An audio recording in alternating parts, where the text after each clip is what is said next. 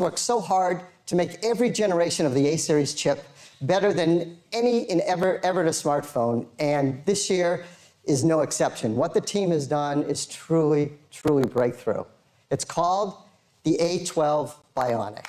And the A12 Bionic is the industry's first seven nanometer chip. And that's a huge breakthrough. Yes. Now, the, A, the A12 Bionic is packed with 6.9 billion transistors. And what the team has done with all that is remarkable. So let's go through some of the things in this chip. We're going to talk about the CPU, the GPU, and the neural engine. Let's start with the CPU. It is an Apple designed six core CPU. This is a fusion system. It has two high performance cores, four high efficiency cores. The two high performance cores run up to 15% faster than the cores in the A11 Bionic, while also being 40% more energy efficient. And the high efficiency cores are up to 50% more energy efficient. And all six cores can run at once. The GPU, well, this is an Apple designed GPU. It is so powerful. Now, the A11 GPU was already ahead of anything else in the industry. The A12 GPU is now up to 50% faster than the A11. So a huge jump in graphics performance. But the real advancement, the real blowaway thing, is this neural engine. Now, you know we introduced the first neural engine last year with the A11 Bionic.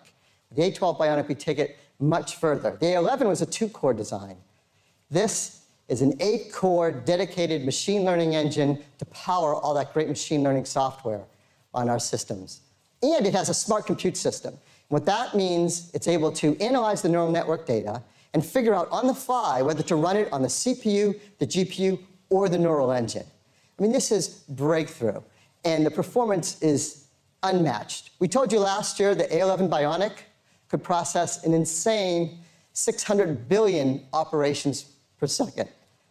Well, the A12 Bionic is able to process 5 trillion operations per second.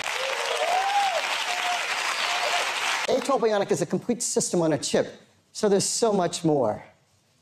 And the team works very hard to be just as innovative at every one of these things in the A12 Bionic. It has a next generation image signal processor, incredible video coders and decoders.